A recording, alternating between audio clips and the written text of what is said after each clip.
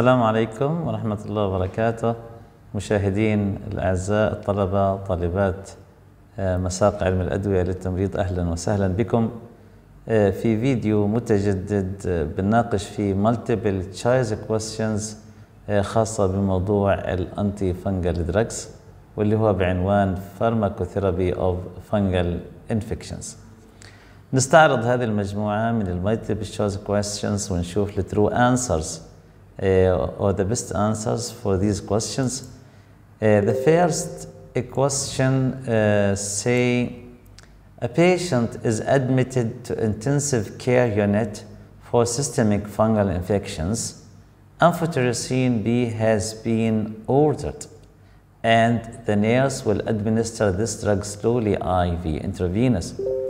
When administered too rapidly, amphotericin B may cause what significant adverse effects? Select all that apply. There are more than one answer, and we will try to answer these questions. The first answer is laryngeal spasms, or second option hypotension, and the third option hypokalemia, and the fourth option is shock. Fifth option is hypoglycemia. The answers of this question are option number two, hypotension, option number three, hypokalemia, and option number four, shock. Because when administered, when administered too rapidly, amphotericin B may cause hypotension, hypokalemia, and shock, while option 1 and 5 are incorrect. Let us see the second question. A patient with AIDS has been given a prescription for oral fluconazole diflucan to prevent candida infection. Considering the patient's primary diagnosis and the order for fluconazole, what essential, essential, essential teaching will the nurse provide? The first one, keep a food diary and request anti-nausea medication if eating become problematic or maintain regular low impact exercise daily to avoid loss of muscle spasm. Third option, wear a high filtration mask if going out in public. Or the last, avoid all fat-based soups and allow the body to air dry after bathing. The correct answer is number one. Keep a food diary and request anti-nausea medication of eating become problematic because patients who are take fluconazole may experience nausea, vomiting, and diarrhea. Nutritional intake is especially important to maintain optimum health in patients with AIDS. Keeping a food diary uh, will assist the provider in determining overall calorie and fluid intake. Anti-nausea medication may be helpful in this case if nausea or vomiting is severe, while options 2 and 3 are incorrect. The third question, Nystatin, with trade name mycostatin suspension has been ordered for treatment of thrush oropharyngeal candida in a six-week-old infant. What instructions should be caregiver receive? Select all that apply. The first option give the infant small amount of water after feeding and before the drug to rinse the mouth or using an applicator or syringe distribute the solution around the mouth and tongue allowing the infant to swallow the remainder.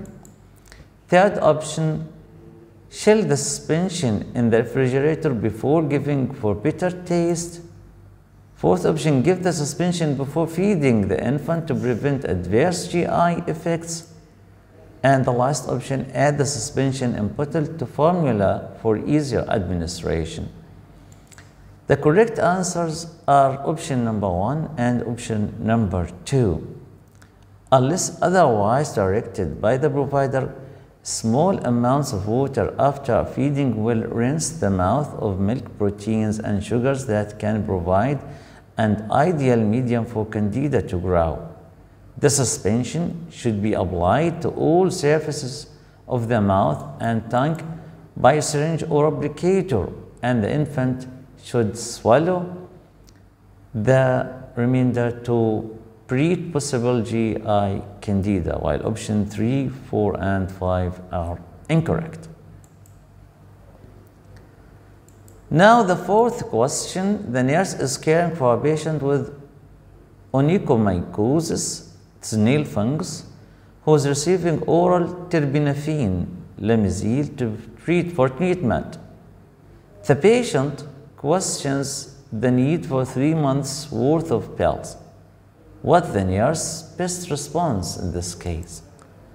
The first option, the healthcare provider will evaluate the nurse monthly and stop treatment earlier if wanted, or it is cheaper to buy more pills at one time than one man a monthly schedule, or the extensive prescription avoids the need for shorter term, potentially toxic doses, and the last option, nails grow slowly and the nail beds must receive adequate length of treatment to eliminate the infection.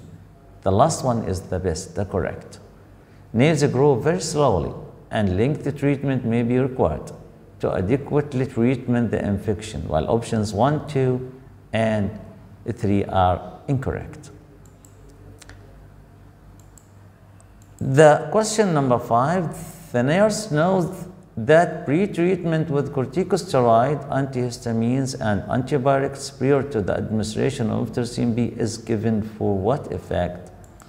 Let us see. One, they enhance the effectiveness of amphotericin B, or they eliminate toxic byproducts of amphotericin B, or they reduce the severity of adverse effects associated with amphotericin B, and the last option, they increase the half-life of amphotericin B?